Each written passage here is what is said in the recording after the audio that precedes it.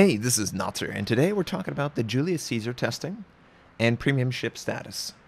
This is related to the Tier 6 version of the Julius Caesar, and Wargaming has released a public statement. This is discussing the topic.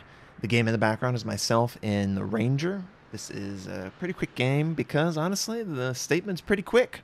So I wanted to just share something in the background. Sorry, it's not the Tier 6 Julius Caesar.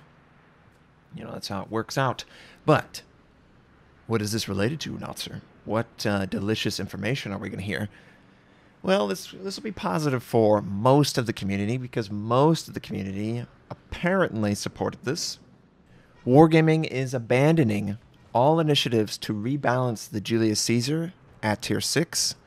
The testing version of that ship is no longer going to be available.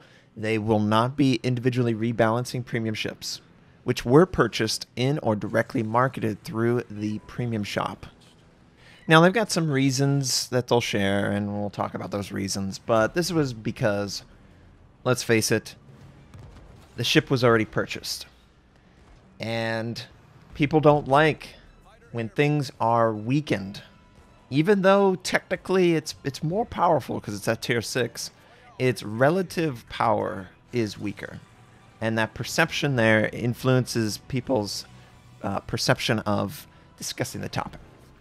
So, while many of the community did support the idea of promoting more balanced and fair play, most are not willing to support this if it means changing purchased premium ships.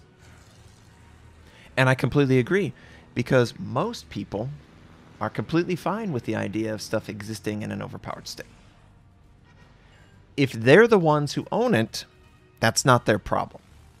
That's basically, I think, the, the thought there.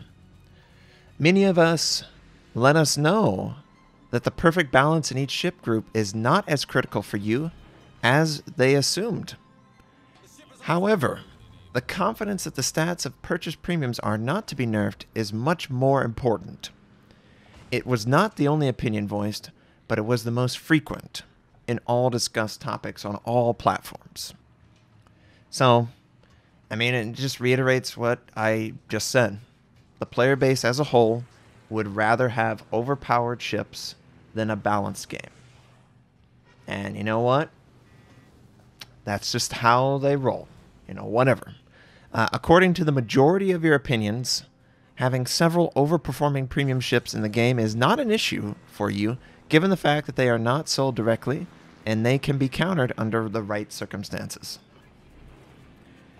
So I, I, guess the theory here is that it's okay that a ship exists overpowered because when it will participate in ranked or clan or random or whatever, good players know how to counter it with specific builds and specific ships and that's the only thing that matters as long as there is a, a solution to the problem player base as a whole will not be willing to uh, cause the ship to be changed or rebalanced. I also agree with this assessment because this is the unfortunate reality that I have come to to see as well.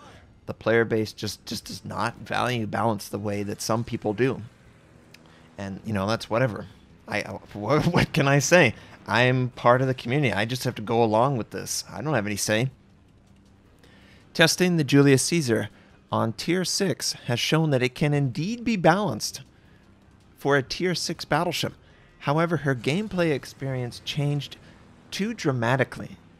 The same is true for alternative rebalance options, aka nerf on Tier 5. So these were the reasons given for why the Julius Caesar will not be seen at Tier 6. Testing for that is halted, and overpowered premiums will not be moved up a tier in the future. Now, maybe they go back and they change this again because maybe at some point the community realizes, wow, this is really stupid.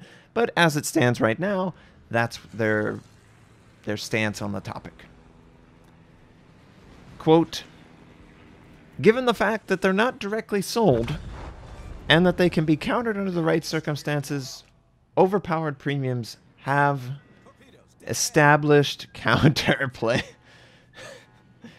Oh, this just this just solidifies why I don't like competitive. Because overpowered ships are allowed to absolutely dominate, cause huge influence over it. The mere existence of the Stalingrad completely throws off the balance of tier 10 because it directly influences your decision making. Just as this is going to, you know, the Belfast at tier 7, the Julius Caesar at tier 5, the Kamikaze at tier 5, the T 61 at tier 6, the Massachusetts at tier 8. You know, all of these really powered, powerful premiums. They exist.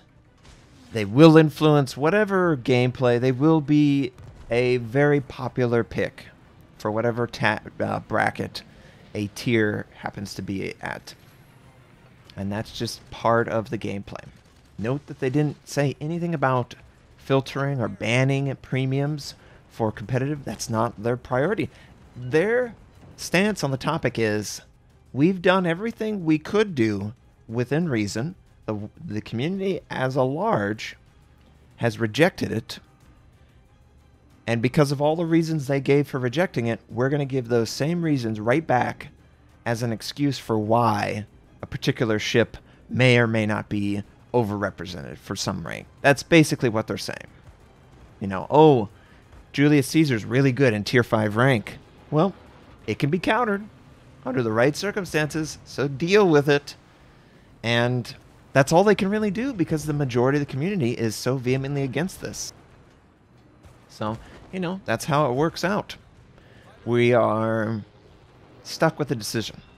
And, you know, obviously, I'm happy that this means that they can't set a precedent of rebalancing ships, you know, releasing an overpowered version of the ship and then rebalancing it a tier higher later on.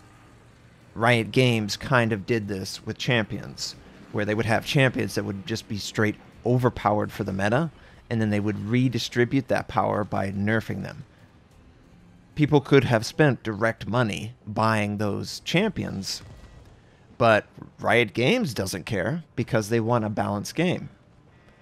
But that is real criticism of Riot Games because they really did that back in the day. So I understand the precedent that they don't want to set, and honestly, I'm right there with them.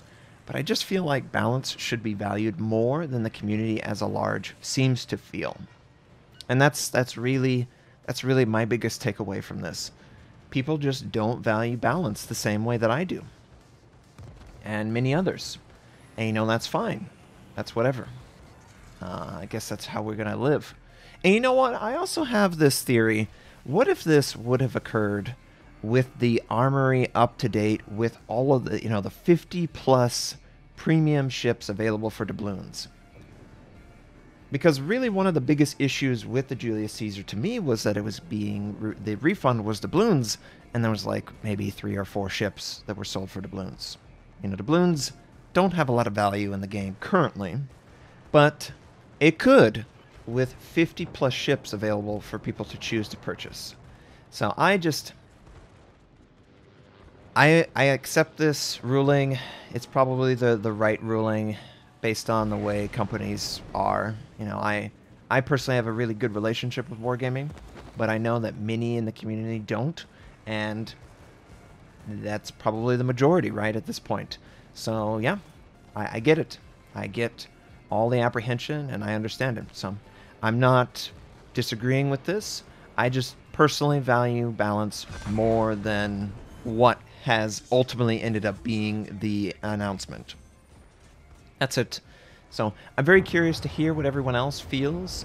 Do you feel like the right solution has been found?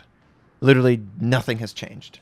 Or do you feel like, you know, it would have been nice for some change to come through, whether it be a filtered uh, option for premiums that maybe they don't show up in select rank ran, uh, random competitive scenario type situations but then you could get into wargaming just arbitrarily deciding what is overpowered and what is underpowered. Like maybe they filter out the Julius Caesar, but they leave the kamikaze. right? Uh, that would be bad. Or they choose to omit the Belfast from competitive or scenario but they leave in the Nelson, and the Nelson's actually the most powerful ship for that particular objective. So, you know, what's overpowered? Is it overpowered in the sense that it makes it harder for player controlled opponents to deal with you? Or is it overpowered in the sense that it provides you a lot of income or success against bots? You know, whatever. I think this is the most satisfactory because nothing changes and everything feels familiar. I'm cool with it.